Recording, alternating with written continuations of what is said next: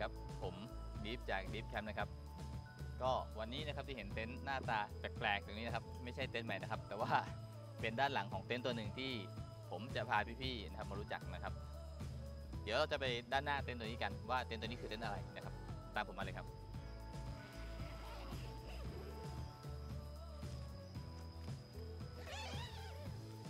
านหน้านะครับพี่ๆจะม้วนพับเก็บนะครับ ก็จะมีที่เก็บให้หรือนะครับ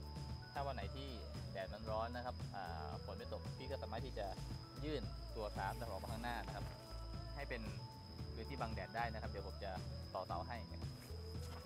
คอสโดมนะครับจะมีเสานะครับค้ำมาให้สองเสาสำหรับที่เราจะเอาไว้เปิดรับลมหรือเปิดชมวิวนะครับ จากด้านในเต็นท์เสาประตูหน้าของคอสโดมนะครับ ก็จะมีความสูงประมาณ1เมตร75เซนนะครับโดยประมาณ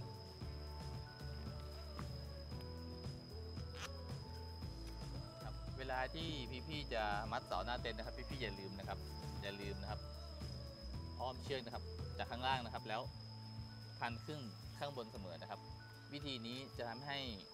เต็นท์ของพี่ๆเนี่ยเวลาลมแรงๆมานะครับจะทำให้เสาแล้วก็ตัวผ้าหรือชาร์ปเนี่ยไม่หลุดจากกันนะครับ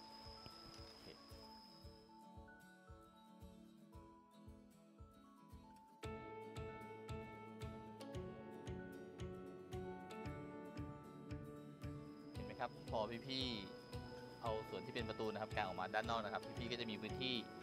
พื้นที่ว่างนะครับ ให้เราได้ทำกิจกรรมเพิ่มมากขึ้นนะครับครับ ในส่วนของพื้นที่หน้าเต็นท์นะครับก่อนที่จะเข้าไปด้านในนะครับ เช่น ถ้าเกิดเวลาฝนตกหนักนะครับ ถ้าพี่ๆจะเอาประตูตรงนี้ลงนะครับ พี่ๆก็จะมีพื้นที่นะครับ ด้านหน้าอยู่ในโซนระหว่างนี้นะครับ ประมาณสักสองฟุตนะครับ ก็น่าจะสักเจ็ดสิบแปดสิบเซนติเมตรได้ ซึ่งก็เพียงพอที่พี่ๆจะ ทำกิจกรรมเวลาฝนตกเช่นพี่อาจจะทำกับข้าวข้างในนี้เพื่อที่ไม่ให้เปียกฝนหรือเอาของมาเก็บไว้ส่วนนี้ก็ยังเก็บได้นะครับปเดี๋ยวเราเข้าดูข้างในครับ ตัวประตูของโฟร์แมนครอสโดมเองนะครับก็จะแบ่งประตูเป็น 2 ชั้นนะครับ โดยที่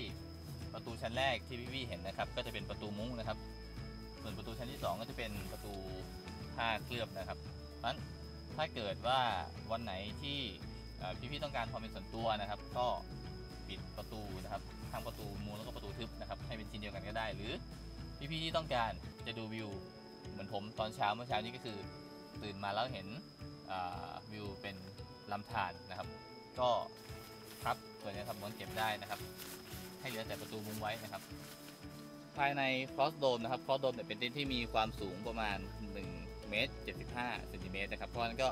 มีความสูงพอสมควรนะครับ ด้านบนเต็นท์นะครับ ก็จะมีที่สำหรับแขวนตะเกียงให้นะครับ ก็อันนี้ก็ผมก็แขวนตะเกียงไว้นะครับ มีช่องระบายอากาศนะครับสำหรับพี่ๆที่วันไหนที่ถืออบอ้าวนะครับพี่ๆก็เปิดช่องระบายอากาศแล้วก็พับเก็บง่ายๆนะครับ มีให้ทั้งสองด้านนะครับ นี่คือความสูงของคลอสโดมนะครับ เพราะฉะนั้นก็มันเป็นเรื่องง่ายนะครับสำหรับสาวๆหรือผู้หญิงนะครับที่ต้องการที่จะเปลี่ยนเสื้อผ้านะภายในเต็นท์ได้เลยนะครับกว้างมากกว้างขวางสะดวกสบายนะครับ อีกอย่างหนึ่งของความเป็น Japan spec นะครับ คือพื้นของตัว cross dome เองนะครับ ออกแบบมาโดยใช้ผ้าโพลีเอสเตอร์นะครับ เป็นวัสดุแล้วก็ใช้การเคลือบที่อยู่ที่หนาขึ้นนะครับ ประมาณ 3 0 0มิลลิเมตรซึ่งจะทำให้ไม่มีเสียงขอบแก็บเวลาเรานอนอันที่หนึ่งนะครับ อันที่ 2 ก็คือทำให้กันน้ำได้ค่อนข้างจะดีมากนะครับ ภายใน cross dome นะครับมีความกว้างนะครับ2เมตร7คูณ2เมตร7เพราะนั้นมีความกว้างพอสมควรนะครับ เดี๋ยวผมจะนอนให้ดูนะครับแล้วก็จะให้พี่ๆได้เห็นว่าภายในนะครับมันกว้างขนาดไหนนะครับ ที่มันบอกว่านอนได้ขนาด 4-5 คนจริงไหมนะครับ จะเห็นว่าจากหัวไปถึงตรงปลายเท้าผมนะครับค่อนข้างจะเหลือพื้นที่เยอะมากนะครับ แล้วก็ด้านข้างนะครับ ยังเหลืออีกพื้นที่พอสมควรนะครับ ภายในนะของคอสโดมนะครับยังมีพื้นที่เป็นช่องเล็กๆนะครับ ให้ได้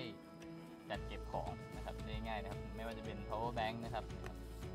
นอกจากนี้เองนะครับ Hot Dome ยังมีประตูด้านหลังที่เปิดได้นะครับ แล้วก็พี่พี่จะเห็นได้ว่าประตูด้านหลังของ Hot Dome อะที่ผมพับไว้เนี่ยนะครับด้านหลังจะมีพื้นที่หรือมีสเปซให้เราสำหรับที่จะวางอะไรเล็กๆน้อยๆได้บ้าง เพื่อที่จะไม่ให้มันเปียกฝนนะครับ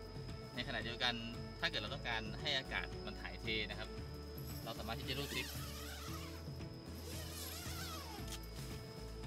เปิดประตูนะครับ เพื่อที่จะดู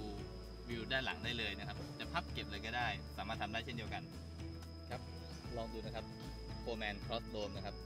เต็นท์ที่เป็นเต็นท์ Japan spec ราคาประหยัดมีฟังก์ชันการใช้งานที่ค่อนข้างจะครอบคลุมและเหมาะกับบ้านเรานะครับ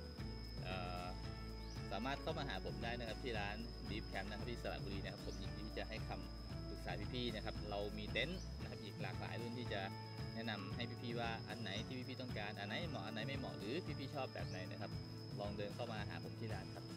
มีบริการพี่ๆขอบคุณมากครับ แล้วพบกันใหม่ในรีวิว